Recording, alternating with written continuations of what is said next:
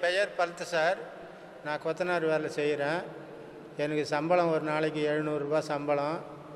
வேலை இருந்தால் தான் சம்பளம் கிடைக்கும் இல்லைன்னா கிடைக்காது.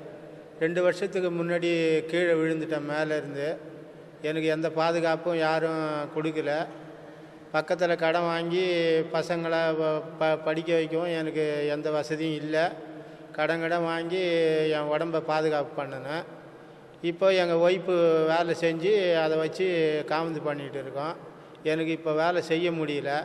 எனக்கு நாற்பத்தி ஏழு வயசு ஆகுது. எனக்கு யாருமே இதை போல் ஒத்துழைப்பு பண்ணலை. இந்த பிடபிள்யூவில் வந்து சொன்னதுனால எனக்கு அது பிடிச்சிருக்கு. நான் அதில் வந்து சேர்ந்துடுறேன். நன்றி.